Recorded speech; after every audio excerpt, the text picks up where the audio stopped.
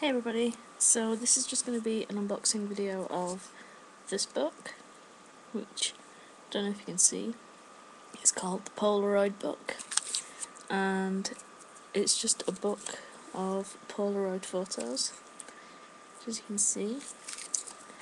Um, I've not opened it yet, as it says there's um, 254 photos by 203 artists, which I thought was quite interesting. Um, you can see, it's six pounds in HMV, which I think is a bargain. So I'm gonna open it up. It's in a cellophane wrapper.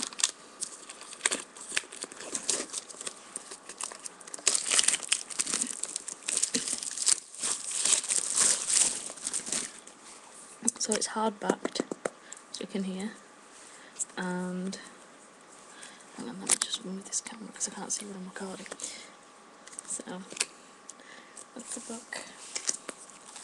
So it's like, it has a photo per page, which I think is really good.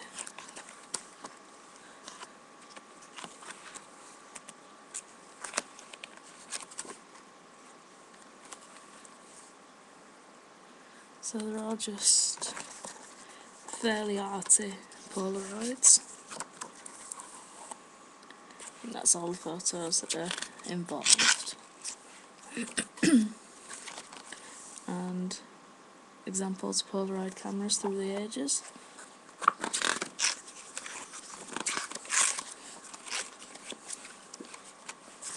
So,